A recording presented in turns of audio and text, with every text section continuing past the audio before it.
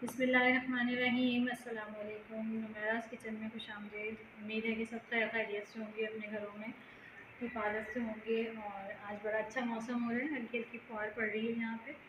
तो आज हम बनाने जा रहे हैं चिकन मुगलाई हांडी। ठीक है, ये हमारे पास चिकन की आधा किलो से थोड़ी ज़्यादा है।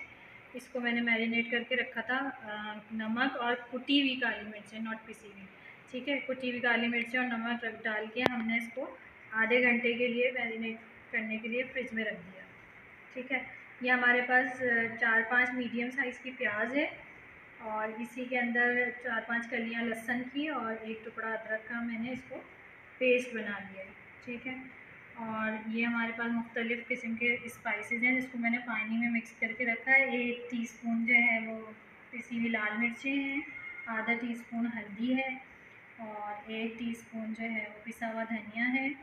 और एक टीस्पून ज़ीरा है और थोड़ा सा नमक है। मैंने इसमें नमक कम डाला है क्योंकि हमने चिकन में भी नमक डाला। ये एक कप जो है दही है हमारे पास, ठीक है? और ये हमारे पास बादाम का पेस्ट है। बादाम का पेस्ट भी ले सकते हैं आप और काजू का पेस्ट भी ले सकते हैं। बाकी हमारे पास हरी मिर्चें, हरा धनिया और टमाटो पेस्ट है। अच्छा ये मैंने ऑयल गरम करने रख दिया था। आ, ये मेरे पास स्पून है मैंने इसके दो लिए हैं। अब आपके यहाँ जितना ऑयल खाया जाता है उस हिसाब से आप ले लीजिएगा। और इसमें हमने प्याज और लहसुन अदरक का पेस्ट ये डाल दिया है।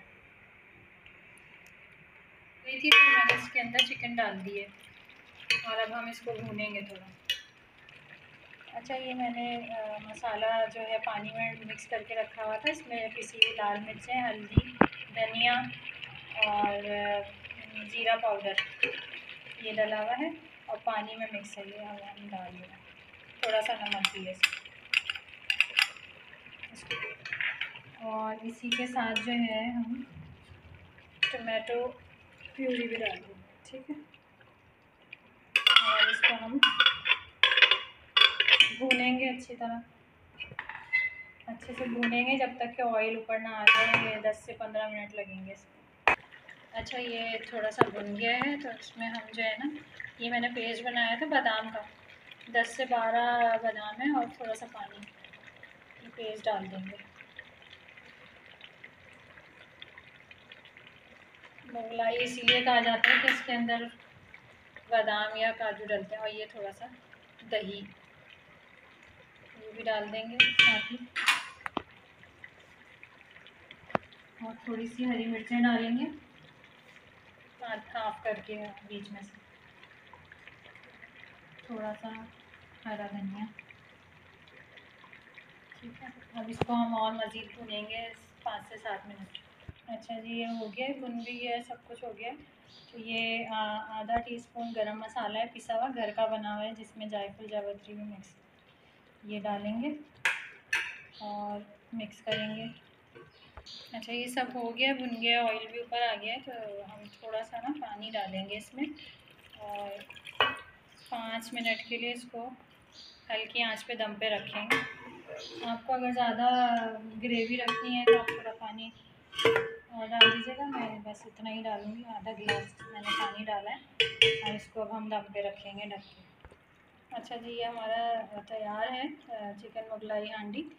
अब हम इसका ना चूल्हा बंद कर देंगे, पाँच मिनट के लिए ढक के रखेंगे, फिर डिश आउट करेंगे। अच्छा जी, ये रेडी हो गया, अब हम जो है इसको निकालेंगे। डिश आउट करेंगे इसको।